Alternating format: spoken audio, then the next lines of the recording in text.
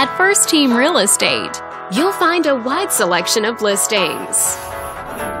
This video is brought to you by your real estate agent, Anne.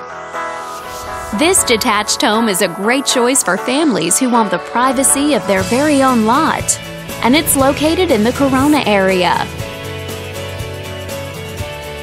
Currently listed at just over $450,000, it offers an excellent value for the area.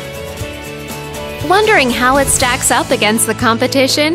There are now just over 180 homes on the market within this zip code.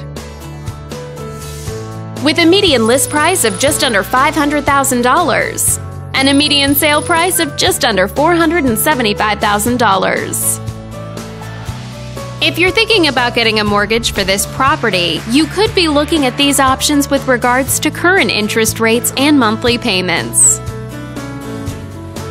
This property was built in 1987 and features over 1,800 square feet of space, giving you a spacious layout to play host or kick back and relax after a long day. Inside, you'll find four bedrooms, so everyone has a private space to come home to, as well as two full bathrooms and one partial bathroom. But let's talk about what really makes this home stand out. Parents will be happy to know that it's located in this school district. And with a walkability score of 2.5, the neighborhood is a very walkable place to live.